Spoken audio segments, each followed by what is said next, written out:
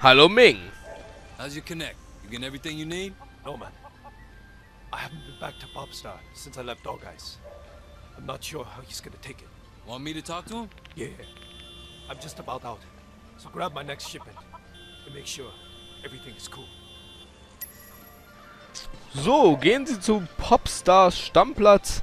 Was ist da drüben? Gehen wir da mal hin. Einfach nur eine Lieferung entgegennehmen. Das kann ja nicht so dramatisch sein. Oder doch? Äh, jetzt ist es doch irgendwie wieder woanders. Na, dann schauen wir doch mal. Haben wir jetzt nicht hier irgendwo den Wagen stehen lassen? Ah ja, doch, das Taxi steht da hinten. Aber so ein Motorrad wäre natürlich schon auch nochmal einiges cooler, ne? Sorry. Oh, Diebstahl kostet mich sogar Ansehen. Ah, klar, wir sind ja auch mitten in einer Mission. Da darf ich ja eigentlich sowas gar nicht. Boah, ich muss aufhören mit Motorrädern zu fahren. Das ist ja... Das ist ja... Unverantwortlich eigentlich.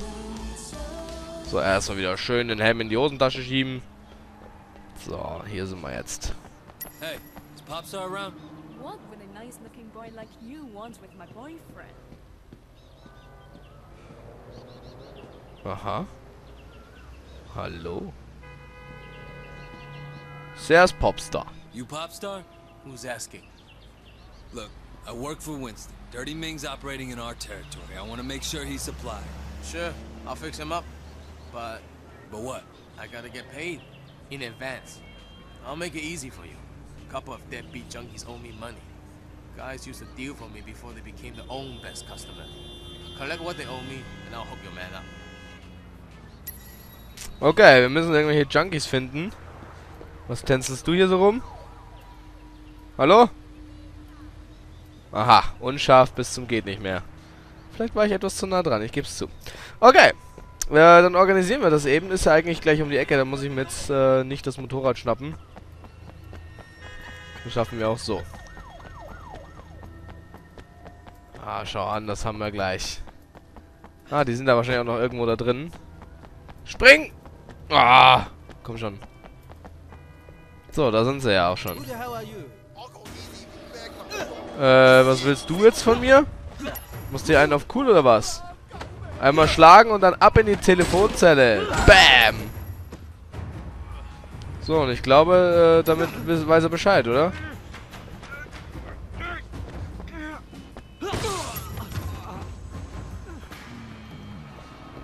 Kann es sein, dass ich eventuell ein bisschen zu grob war?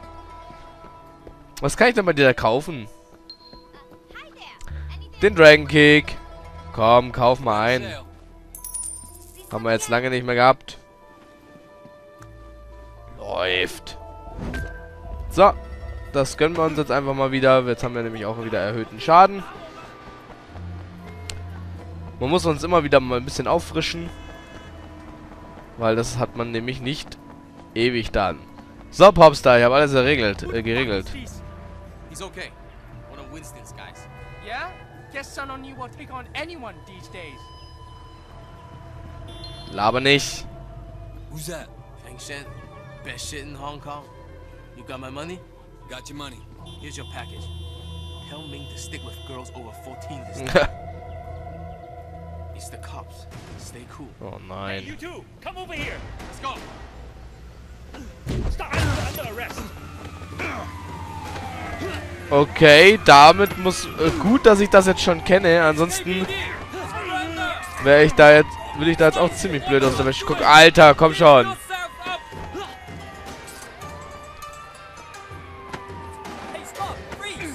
Ist ja gut jetzt.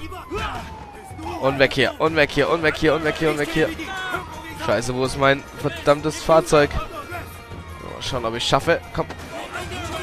Gib Gas, gib Gas, gib Gas! Okay. Ah, mal sehen, ob wir das jetzt schaffen, ob wir hier flüchten können. Aber er ist scharf um die Kurve. Das war gar nicht so schlecht. Das könnten die nur leider auch. Okay, das nenne ich scharf um die Kurve. Verdammt nochmal, ich darf nicht so viel Sach Sachschaden machen. Hey, ich glaube, die sind erledigt. Ha, nice. Dann würde ich sagen, bremsen einfach mal ab und telefonieren kurz. Ähm, Tang anrufen. What have you found? I got enough to bust Popstar. But I also met a supplier. Guy named Fang Shen. Find out where he hangs out, and I'll see if I can get something on him. I'll get back to you. Ah, kennen wir schon mehrere Leute. Wir haben eigentlich auch einen neuen Bericht, sehe ich gerade. Und zwar... Von Winston. Ha, Winston. Der Code, seine Codename ist Dragon. Streng geheim. Mein Hauptkontakt ist Winston Chu, der Sun Oye Red Pole, der einen Teil von North Point kontrolliert. Zumindest denkt er das. Wie aus meinen letzten Berichten vorgeht, verliert Chu die Kontrolle mehr und mehr an seinen rivalisierten Sun Oye Red Pole namens Sam Dogaislin. Chu ist hitzköpfig, impulsiv und nicht allzu clever. Er verfügt über keinerlei schulische Ausbildung, ist selbst mit Intrigen auf Gangebene überfordert. Seine Stimmungsschwankungen gehen möglicherweise auf anabole Steroide zurück, die er meines Erachtens regelmäßig einnimmt. Äh, Chu ist ein, ist ein idealer Zugang in die Triade. Er ist ehrgeizig, aber zu dumm, um seine Ziele zu erreichen und braucht dringend eine intelligente rechte Hand. Diese Rolle spiele dann wohl ich. Allerdings hat mein rascher Aufstieg innerhalb der Water Street Gang für Unruhe gesorgt. Ich bin überzeugt, dass Mutmaßungen über meine wahre Identität eher auf diesen Eifersüchteleien als auf Beweisen beruht. Trotzdem muss ich aufpassen und meine Arbeit in meiner Zentrale absolut vertraulich behandelt werden.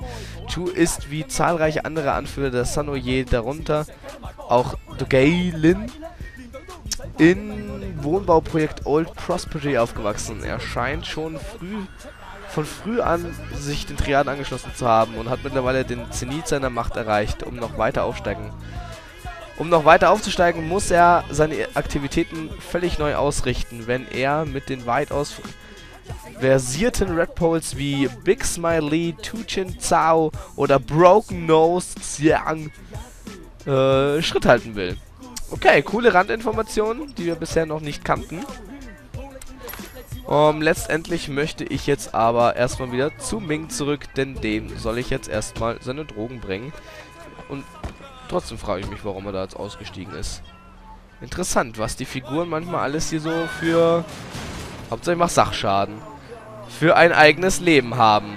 Wir sind doch hier nicht bei den Sims. So. Naja, die Drogen sind schnell zu Ming gebracht.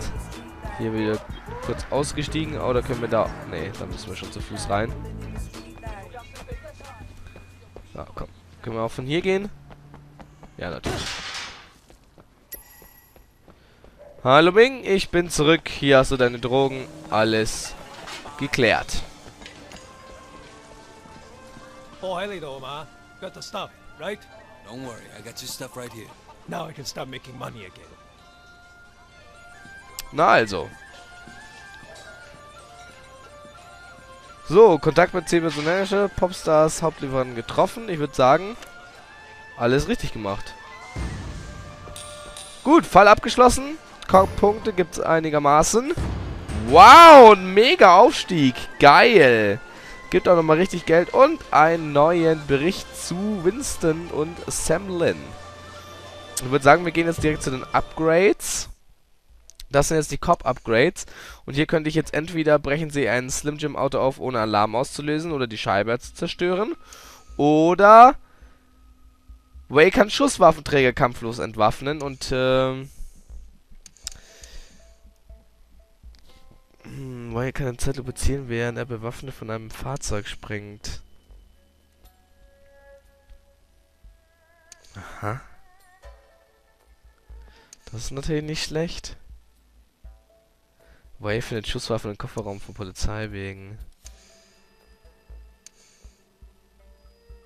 Hm, das ist schwierig, was ich da jetzt als erstes mache. Ich glaube, ich werde erstmal normale Waffenträger entwaffnen können. Damit, glaube ich, fahre ich ganz gut. Popstars Kontakt operiert im Lok Fu Park. Überwachen Sie ihn. Das ist dann wohl unser nächster Fall. Wir könnten jetzt zum Beispiel noch den Bericht hier weiterlesen. Und zwar, wartet mal. Es gibt jetzt was Neues zu Winston Chu. Achso, das ist Winston Chu. Das ist Winston... Oh, da haben wir noch einiges, ey. Ich würde sagen, das lesen wir uns jetzt auch noch durch, weil es einfach interessant ist. So, Jackie Ma ist eh klar, ne? Äh, laut Scondrell ist die Zielperson Jackie Ma keine bekannten Spitznamen oder Straßennamen, ein Gangmitglied der untersten Ebene. Ja, der Newbie halt, ne? Die Zielperson ist mit einigen Mitgliedern der Water Street Gang einschließlich Winston Chu aufgewachsen, gehört selbst aber nicht zur Gang. Er wird nicht in geheime Planungen oder Operationen eingeweiht, wird gelegentlich als Laufbursche eingesetzt. Zielperson neigt hinsichtlich seiner Gangverbindungen zu starken Übertreibungen. Verwendbarkeit als Türöffner fraglich. Angesichts der Labilität und gemeinsamen Vergangenheit der Zielperson mit unserem Mann dürfte der Erstkontakt kein Problem sein. Es ist allerdings nicht geklärt, ob die Zielperson die erforderlichen Kontakte überhaupt herstellen kann. Wir sollten ernsthaft überlegen, stattdessen auf Scondrell oder einen anderen Informanten zurückzugreifen. Also wir wollen Jackie gleich wieder gen Wind schießen, ungefähr. Sam Dogace Lin. Das ist also unser Feind. Scondrell behauptet detaillierte Kenntnisse über die Aktivitäten der Jade Gang, Jade Gang, Jade Gang, sowie ihren mutmaßlichen Anführer Dogace Lin zu besitzen. Laut Scondrell hat Dogace kürzlich eine beachtliche Geldsumme für die Ausweitung der Gang-Aktivitäten in das angrenzende Territorium des San Oye erhalten. Die Aussage deckt sich mit der polizeilichen Überwachung, die eine erhö erhöhte Spannung zwischen einzelnen Sun-Oye-Gruppen sowie eine wachsende Gewaltbereitschaft im Bezirk Northpoint erkennen lässt. Sie erklärt jedoch nicht, warum die Jade Gang durch einen offenen Konflikt mit einer verbündeten Gruppierung unter dem Schutz des Drachenkopfes Vergeltungsaktionen seitens der Sun-Oye-Führung riskieren sollte Angesichts der extremen Gewaltbereitschaft von Drachenkopf David Onkel Po ah ja, wäre das Risiko vor allem für Dogace Lin selbst beträchtlich. Laut, Scondrell äh, treibt Lin eine Kombination aus Gier und persönlichen Ehrgeiz an. Auf den ersten Blick erscheint dies eher unwahrscheinlich, zumal ein Angriff auf die ebenfalls in diesem Bezirk operierte 18K weitaus profitabler wäre. Glaubt man jedoch Scandrell hat Dogace das Geld nur unter der Bedingung erhalten, die richtigen Ziele zu attackieren, nämlich Winston Chus Vater Street Boy Boys. Lin selbst, so Scandell, war zu gierig, um Nein zu sagen und zu dumm, um die Rache des Sononier-Führer zu fürchten. Also es sind beides Anführer der jeweiligen Gruppen, beide irgendwie nicht die hellsten. Mal sehen, was es zu denen äh, gibt, wenn man die mal vergleichen. Hintergrund: Konflikt zwischen Winston Chu und Sam Lin, Codename Dragon, 30. September 2010, streng geheim betreffende Grund. Genau, nochmal der Hintergrund. Die Water Street Gang konzentriert sich derzeit auf die Abwehr diverser Übernahmeversuche durch die Jade Gang, einer weiteren Gruppierung der Son und Ye.